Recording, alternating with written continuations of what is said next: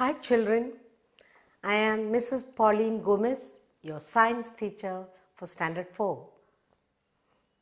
You are coming back to school after a long vacation and you are now in Standard 4. There are a lot of more you have to learn than last year. And this year you have a number of useful, interesting lessons together with that interesting projects and I am sure I'll help you to enjoy the lesson. All lessons for this year is very personal. Today we are going to begin plant life.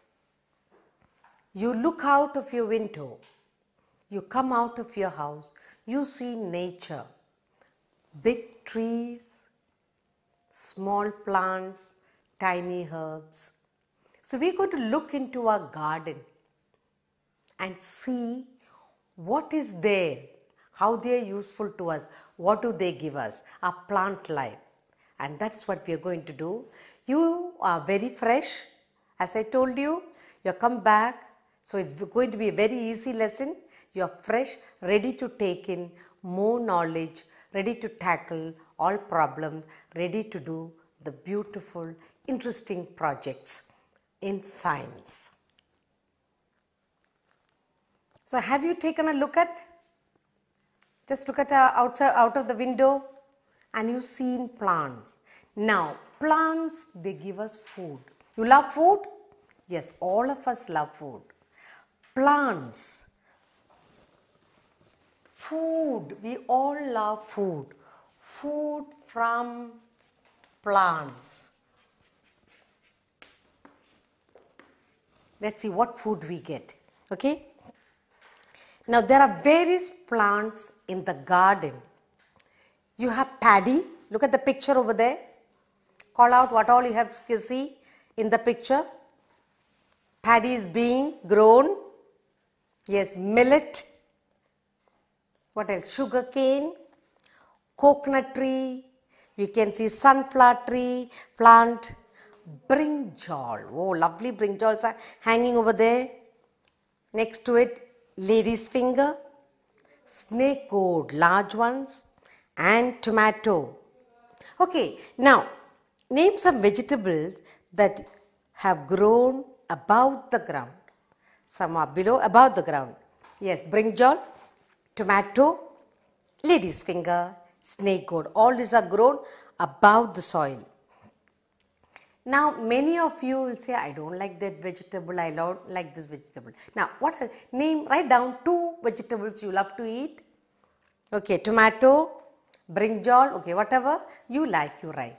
But all vegetables, plants give us food. Every food that plant gives us is good for our health. So let us cultivate the good habit of eating all vegetables that the plant give us. We have a little story here. Let's listen to a beautiful story narrated by Mani. One morning, Mani and his grandfather were in the garden. Mani asked his grandfather, While tomato and brinjal grow above the soil, why does the groundnut grow underground? Grandfather answered that the groundnut plant stores its food in the roots as groundnuts. They walked toward their home, talking all the way. Meanwhile, Mani's father left home to buy provisions. Mani went along with him. In the vegetable shop, Mani saw a variety of vegetables. He took one potato and asked, Why is there mud on the potato? Potato grows under the ground. That's why you see mud on the potato. Father replied, Does the potato plant also store food in the root? Father answered, not in the root, but in the underground stem.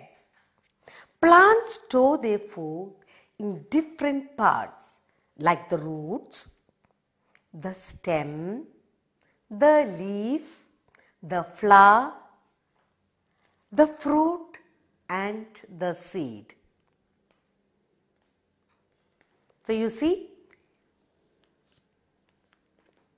plants prepare food in all their parts flower, fruit, leaf, stem, seed, root. So all the food prepared by the plant children are useful for your body. Learn to cultivate, to eat all vegetables, all fruits that the plant gives you as food. Now, you see the green leaves in all the plants. The green leaf has got coloring, green coloring, green pigment. The presence of chlorophyll makes it green. Now, do you know?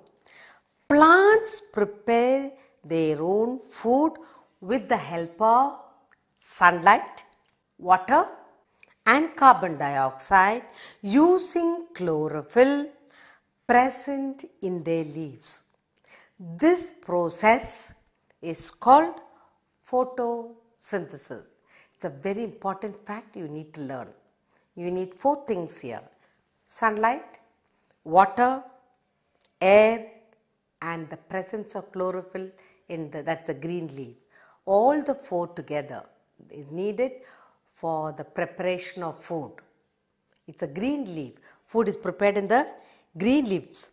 Green, green leaves helps the plant taking the sunlight, using the carbon dioxide, the chlorophyll, and the water prepares food. That preparation is called, the process is called photosynthesis. Very good.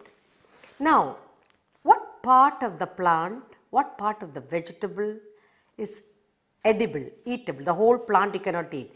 Different plants, different parts can be eaten.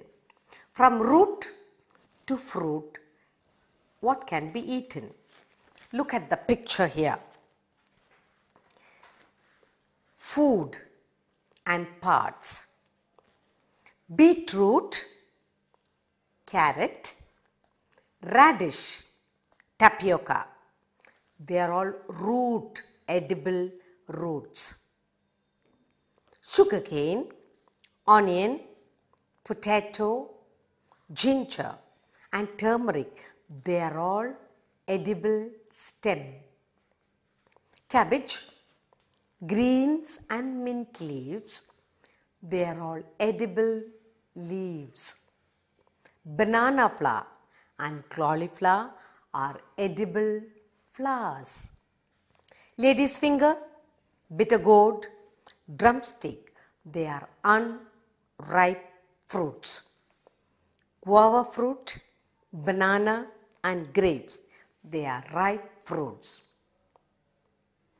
Plants prepare and store their food, and these stored food by the plants is useful for all living organisms. So now we have learned plants for store food in their root that is beetroot, carrot and radish tapioca in the stem.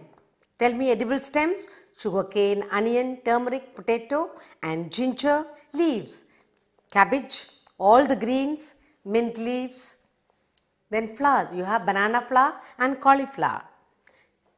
Lady's finger, bitter gourd drum, they are all unripe fruits and we also have ripe fruits and guava, banana, grapes, all these are fruits. So all parts from the root to the fruit, there are edible parts in different plants.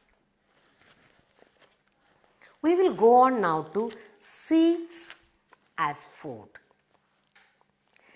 Cereals like paddy, wheat, millet, maize, ragi, and corn. They are all cereals. Pulses like red gram, green gram,